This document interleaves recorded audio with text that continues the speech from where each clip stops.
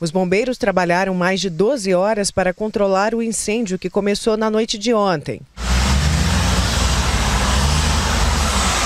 Ao menos 4 mil toneladas de papelão foram destruídas nesse incêndio de grandes proporções. O fogo, que começou nos fundos da empresa de embalagem, logo tomou conta de toda a área. Nós conseguimos conter o avanço do incêndio, conseguimos isolar a, a boa parte da madeira, que iria também estava propensa a ser totalmente queimada.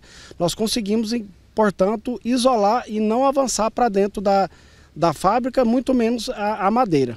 Esse funcionário de outra empresa ficou assustado quando soube do incêndio. Assusta sim. Perigoso, né? Esse caminhoneiro vai ter que esperar um pouco para fazer a entrega de carga de papelão na fábrica, já que o incêndio atingiu o local em que ele fazia descarga. Eu carreguei lá em Brasília para descarregar aqui. E aí, assustou? Eu cheguei agora, fiquei sabendo agora. E aí, pelo jeito, não tem previsão nem para descarregar. O Corpo de Bombeiros ainda não sabe quanto tempo vai durar o combate ao incêndio aqui no local. Pode se arrastar por dias. O que se sabe é que a chuva veio ajudar a diminuir esse prazo. A empresa também ainda não calculou os prejuízos financeiros, mas disse que o incêndio não vai prejudicar a produção. O que se sabe é que queimou entre 3.500 e 4.000 toneladas de aparas de papelão, que são nossa matéria-prima.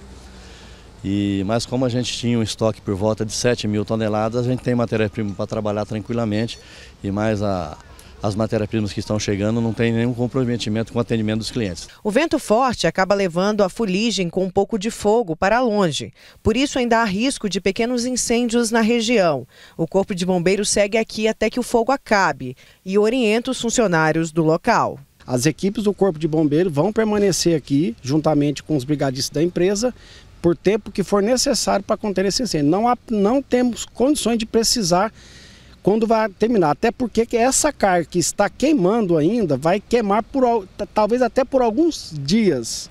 Então, enquanto essa carga de incêndio não ser consumida e retirada do local, nós não podemos então é, dizer que a operação terminou.